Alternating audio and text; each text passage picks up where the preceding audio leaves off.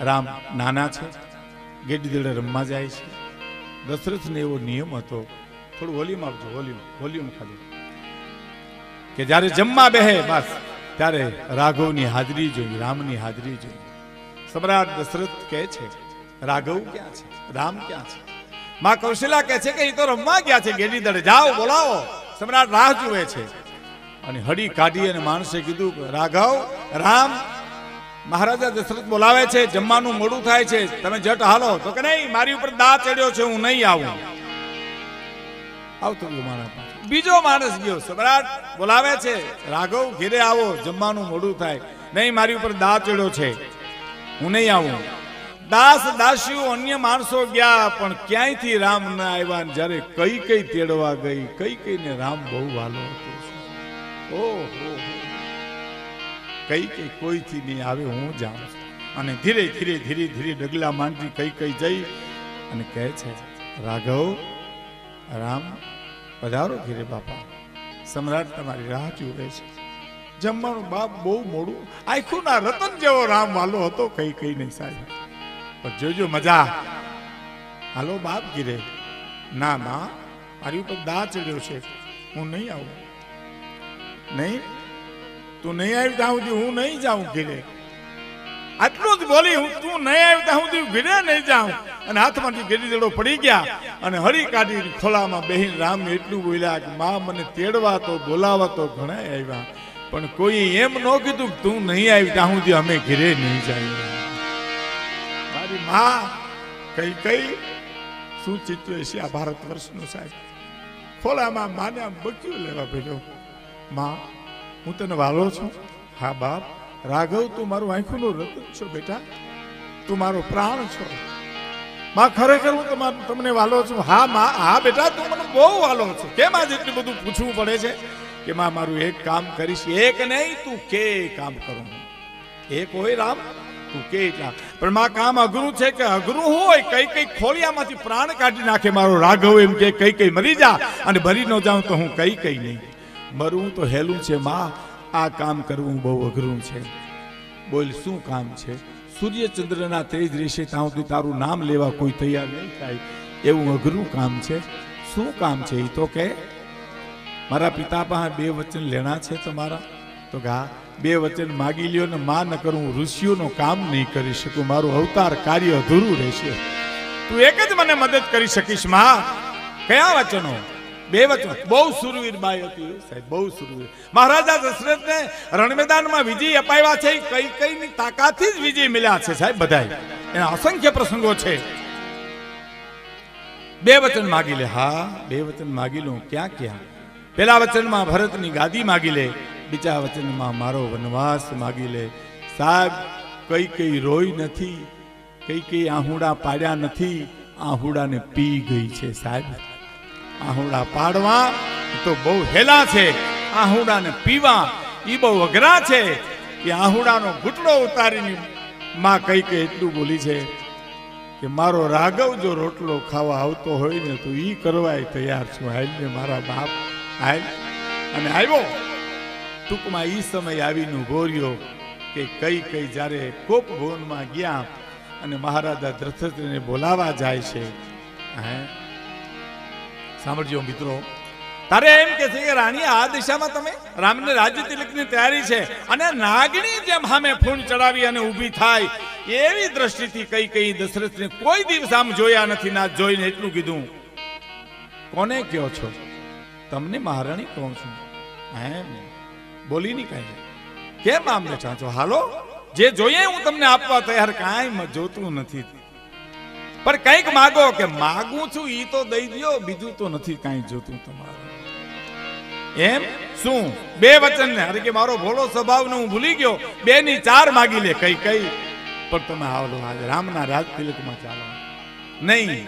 તુલસીદાસજી લખે છે ચારની તમારાથી સહન થાય. માત્ર બે જ દ્યો ને એને. એક ચોપાઈ છે, પણ મને યાદ નથી હતા ને સાંભળજો સાહેબ. પેલા વચનમાં મારા ભરતને ગાદી અને બીજા વચનમાં રામને ચૌદ વર્ષનો વનવાસ વલકલ પહેરી અને અહીંથી જાય. પેલા વચનમાં વાંધો નહોતો, પણ બીજું વચન સાંભળીને ધરતી ઉપર ઢળી પડ્યા. હવે આ બાઈની તાકાત તમે જોજો અહીં ક્ષત્રિય ડાયરો બેઠો છે, રાજપૂત સમાજ બેઠો છે. આ કઈ કઈની તાકાત તો જુઓ સાહેબ તમે. કે પતિ ધરતી પર ઢળી પડે, તો એમ કે મારા બે વચન લાવો સાહેબ. અને પછી આમ આરોટતા આરોટતા કે છે કે કઈ કઈ રામને વન દે તારો ભરત ભલે ગાદી આવે. આ બે કડી સાંભળજો. આ બે કડીમાં બે રૂપ દર્શન બતાવ્યા છે. પહેલું રૂપ. એજી તારો ભરતજી ભલે ને ગાદીએ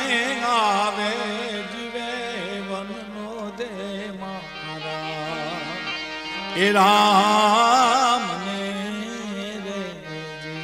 ભલે ભલે ગાદી આવે.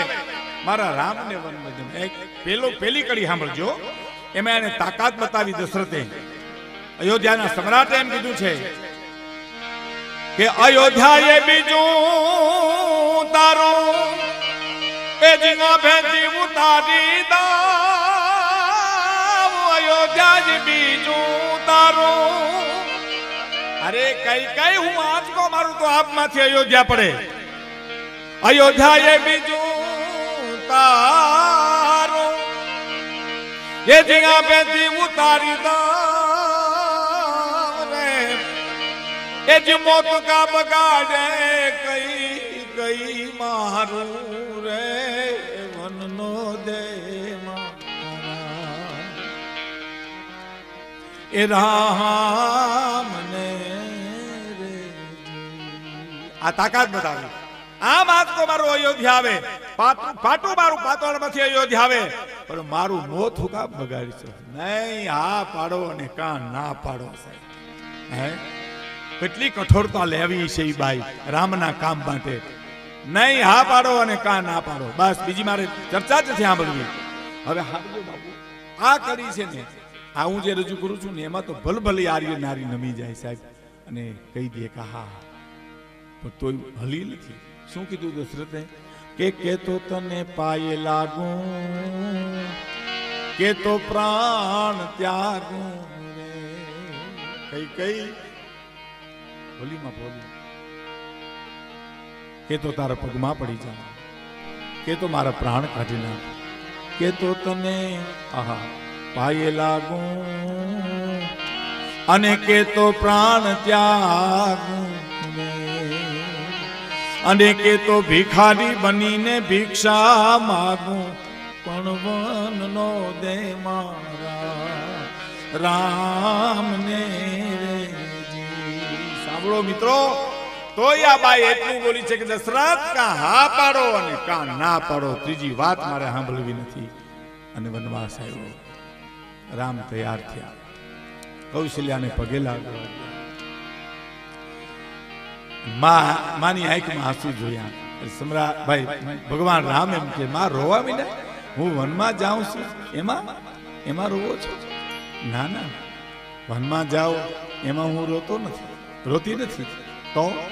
તું વનમાં ગયા પછી મોહાલમાંથી ભરત આવશે ને એને જે દુઃખ છે ને એનું રોવું મને શરૂ થઈ ગયું સટાણેથી કઈ કઈ. અટાણેથી મને રોવું શરૂ થઈ ગયું છે. જા બાપ, જા. અને લક્ષ્મણ તૈયાર થયા. મોટાભાઈ, મારે આવું તો એક રજા લઈ આવો ને. કોની? સુમિત્રામાની. સુમિત્રામાને જઈને કીધું કે માવ, રામની સાથે વનમાં જાઉં અને માતાજી, શું કીધું? એ જહા રામ તહા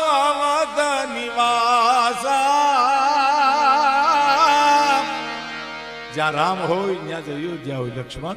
મારી રજા લેવાની ન હોય બાપ. અને સાંભળજો કીધું મોટા ભાઈ રજા લઈ આવ્યો. કે મહત્વની રજા લેવાની બાકી છે લક્ષ્મણ. ઉર્મિલાજીની રજા લઈ આવો. ઉર્મિલાજીને ઓરડે જઈ લક્ષ્મણ એમ કહે છે કે હું રામની વનમાં જાઉં છું અને આમ ઊંચું જોઈને ઉર્મિલાએ જવાબ આપ્યો, મને બહુ ગમે છે સાહેબ.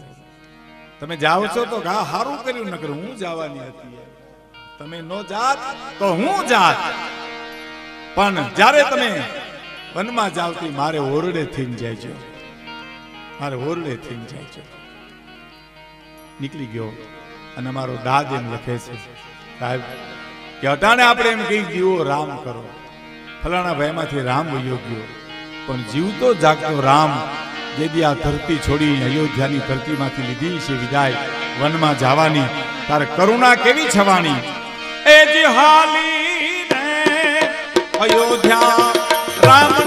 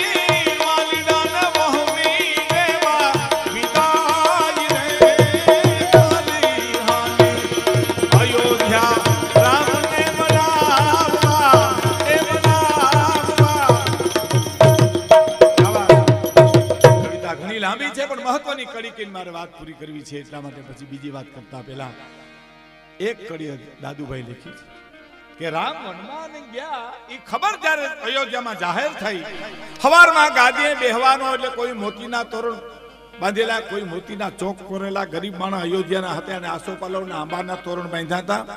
પણ હવારમાં વાયુ વેગે ખબર પડી કે રામ વનમાં વયા ગયા. પ્રકૃતિમાં અસર થઈ સાહેબ, માણામાં નહીં, પ્રકૃતિમાં. દાદુભાઈ લખે હે?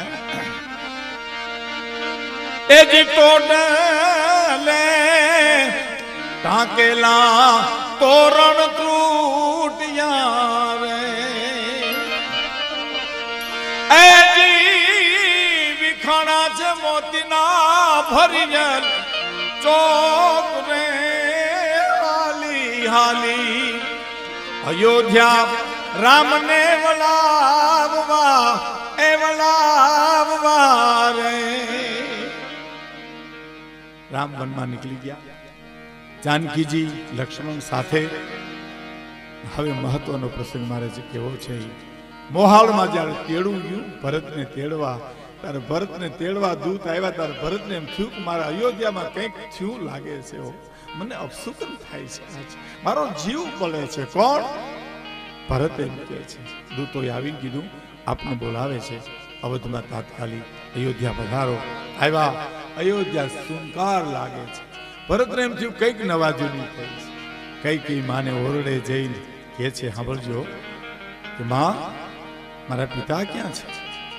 તારા પિતાનું અવસાન થયું બેટા. ઓ, મારા પિતાનું અવસાન હા. શું કારણ? મેં રામને ચૌદ વર્ષનો વનવાસ આપ્યો તને ગાદી આપીને એના આઘાતમાં પ્રાણ નીકળી ગયા રામ રામ રામ, કહી રામ. અને રામાયણના પાઠ કર્યા એને ખબર છે, ભરત શું બોલ્યો છે? મા, હું તારા પેટમાં હતો તું મરી કેમ ન ગઈ? મા, તારી જીભમાં કીડા ન કેમ પડ્યા? કઈ કઈ કેટલો આઘાત સાંભળજો, ભરત આવે પેલા રામ વનમાં ગયા એ પેલા તો ઋષિ પત્ની ઘણું કહી ગઈ, બ્રાહ્મણ પત્ની ઘણું કહી ગઈ, અયોધ્યાના નાના નાનો માણસ પણ કહેતો હતો કે આ કઈ કઈ મરી કેમ નહીં. એ તો સહન થઈ ગયું, પણ પોતાનો પેટનો દીકરો આવીને જે મીડો બોલવા કે તારા પેટમાં હતો તું મરી કેમ ન ગઈ? હા તારા જીભમાં કીડા કેમ નહીં પડ્યા? હે? મને જન્મ આપ્યા પેલા તું કેમ મરી નહીં? માતા બની સીધ મારી.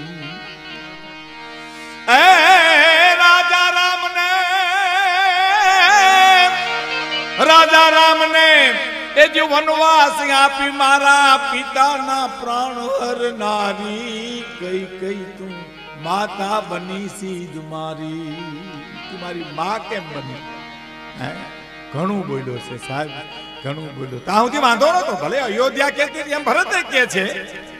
પણ ભરત એટલું બોલ્યો ને સાહેબ, સાંભળજો, મારે આ આ જનતાને શ્રદ્ધાંજલિ દેવી છે.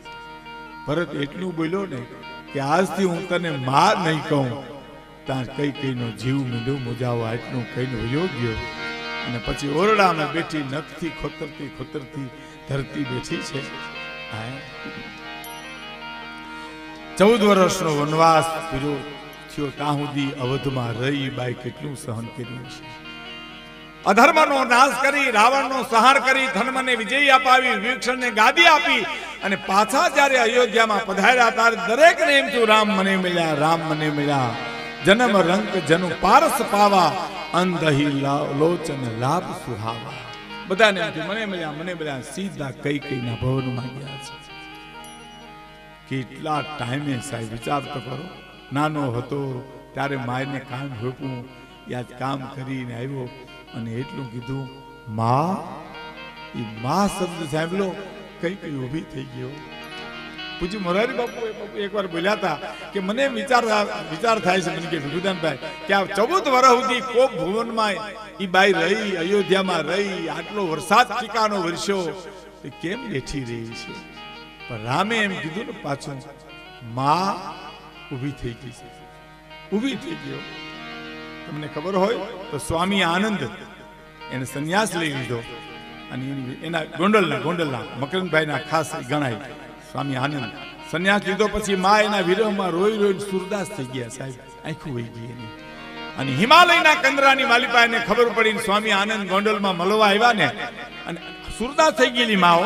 આમ ડેલીમાં પગ મૂક્યો. તા મા બોલી, મારો આનંદ આવ્યો લાગે છે. મારો બાપ આવ્યો, મારો દીકરો. અને આનંદ એટલું બોલ્યો કે, મા, તમે ઓળખી ગયા તો હા, તારા પગલાના ધબકારા હું પારખી ગઈ, બેટા, હું તારી માં છું. એ માજ રામ એટલું બોલ્યો, માં, ઊભી થઈ ગયો ઊભી થઈ. હરિગઢ મારો બાપ આવ્યો, મારો રાઘવ આવ્યો, મારો રામ આવ્યો મારો પ્રાણ એવો સાંભળજો મિત્રો જે આહુડા પી ગઈ તી ઈ આજ આહુડા વ્યક્ત કરવા માંડ્યા સાહેબ. આંખમાંથી ભાદરવો, આહુ, શ્રાવણ ભાદરવો જેમ આહુડા મીના જાવા રામ એની પાંભળીએ જીલી જીલી નાખ્યું નાસુ લુવે છે.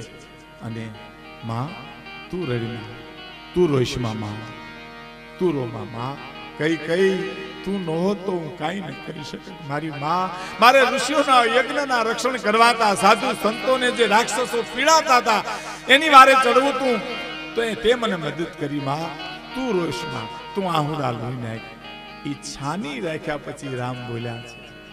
કઈ, માં, કઈ કઈ, માં. મારી પાસે કંઈક માગો ને. જોઈ આ વાત આવી પાછી અહીંયા માગવાની. મારી પાસે કંઈક માગો ને. કઈ કઈ માં શું કહે છે ખબર? રામ, હજી મને માગવાનું કે છો બેટા? મારા માગવાથી તા હોનાર સર્જાણી છે. અને હજી તું મને એમ કે કે માં મારી પાસે માગી લ્યો. અને રામ શું કે છે? કે માં ગમે તે થાય, તું મારી પાસે કંઈક માગી લે. કઈ કઈ શું કે રામ, માગીશ નહીં, પણ માગવાનું પર્યાણ કરીશ તો ધરતીના છેડા છૂટી જશે દીગપાળોના હાથમાંથી. તું મને હજી માગવાનું કેસ હા, માં, ધરતીના ભલે છેડા છૂટી જાય સૂર્ય ચંદ્ર ભલે પાતાળમાં ડૂબી જાય, ન થવાનું ભલે થાય, હું રાઘવ બોલું છું, રામ બોલું છું, મારી પાસે કંઈક માગી લે, કંઈક માગી લે, કંઈક માગી લે, તારે કઈ કઈ એમ કે છે, રામ માગું? હા. મને બીક બહુ લાગે ભાઈ માગવાની. ના, માં, માગને મારા ખાતર માગ. એમ તો હા, ભરતને બોલાવીને એટલું કે મને માં કે બસ? એને કે, મને માં કે બસ. ઈ એમ કહીને વયો કે હું તને માં નહીં કહું તેદીનો મારો જીવ મૂંઝાય છે, રામ, મારો જીવ મૂંઝાય છે. અને ભરતને બોલાવી, રામ એમ કહે છે, ભરત, માને માં કે ભાઈ? માં કે?